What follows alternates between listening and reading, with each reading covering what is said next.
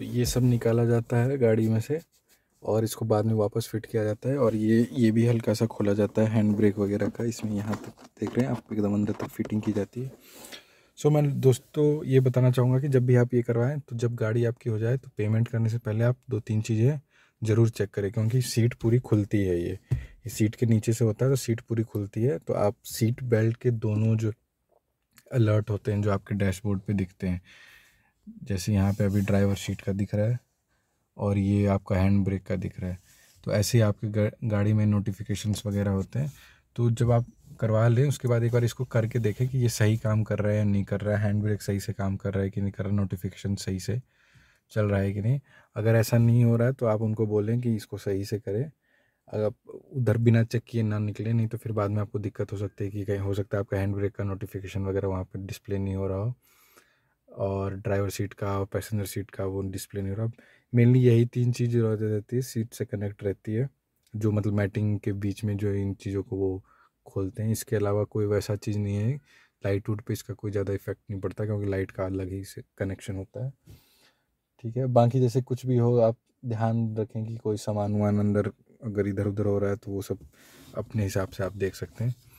और मैं इन लोग को दोस्तों, ये भी बताना चाहूँगा कि कभी भी आप जब भी मैटिंग कराते हैं तो जो मैटिंग करते हैं, उनको लोग ऐसे मतलब जूता पहन के अंदर नहीं जाने देते हैं उस टाइम करते वक्त।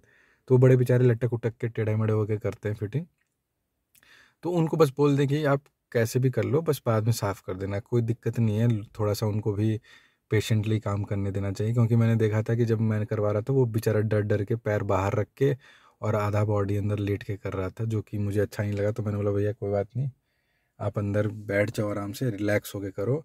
सही से कर दो, कोई दिक्कत नहीं, गंदा होगा। आप कपड़े से पोछ देना, कोई दिक्कत नहीं है। तो थोड़ा सा मतलब आप नेचर वाइज भी अच्छा बिहेव कर सकते हैं, कोई दिक्कत नहीं है, थोड़े बहुत गंदे, क्योंकि आप भी चढ़ोगे तो थोड़ा गंदा तो हो। गई तो बस वो बेचारा मतलब बहुत अच्छे से किया।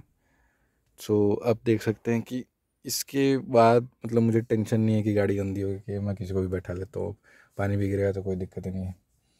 ठीक है, पहले बच्चों के साथ मुझे थोड़ा सा टेंशन रहता था कि वो कहीं इधर उधर कुछ गिरा ना दे बट अब ठीक है। ठीक है दोस्तों, ये था एक छोटा सा वीडियो मैटिंग फ्लोरिंग के लिए। आपको अगर किसी तरह और किसी तरह का वीडियो चाहिए या फिर कोई सवाल हो अल्ट्रोज एक्सएम प्लस से रिलेटेड या फिर कोई जनरल क्वेश्चन हो, अगर आप न्यू ड्राइविंग वगैरह कर रहे हैं तो कैसे करना है वो समय बता दूँ। जैसे गियर कैसे शिफ्ट करना है, उसकी भी वीडियो मैंने डाल रखी है, आप देख सकते हैं चेक कर सकते हैं फीचर की वीडियो मैंने डाल रखी है। साउंड सिस्टम की भी वीडियो डाल रखी है हैंड ब्रेक कैसे यूज़ करते हैं उसकी वीडियो डाल रखी है आप देख सकते हैं। आप आप मुझे पता है आप बहुत मतलब आ, अच्छे तरह से देखते हैं वीडियो समझते हैं वीडियो को। तो मैं आपको बताना चाहूँगा कि इस वीडियो के जब जब देख रहे होंगे तो नीचे एक रेड कलर का बटन होता है जिसको सब्सक्राइब करते हैं। आप उसको ज़रूर प्रेस करें।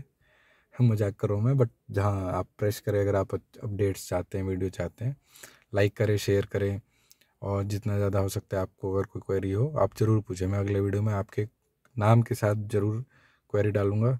अभी क्योंकि नया नया चैनल है तो थोड़ा सा टाइम लगेगा मुझे इसको ग्रो ग्रोथ में। लेकिन जब ये बहुत ग्रो कर जाएगा तो मैं लोगों को फ्रीवीज़ वगैरह भी दूँगा। और ये भी टिप्स एंड ट्रिक्स ज़रूर मैं बताऊँगा कि कार में क्या ख़रीदना चाहिए, क्या नहीं ख़रीदनी चाहिए कौन से एसेसरीज़ इंपॉर्टेंट है कौन से एसेसरीज़ नहीं है।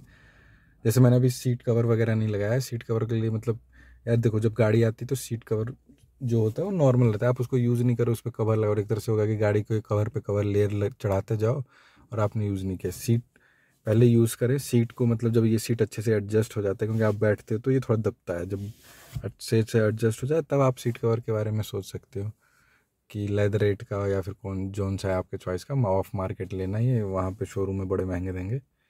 सो ये सब इम्पोर्टेंट चीज़ है।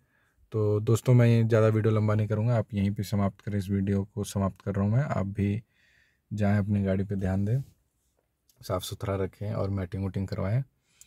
और चैनल सब्सक्राइब करें, लाइक करें, शेयर करें। धन्यवाद।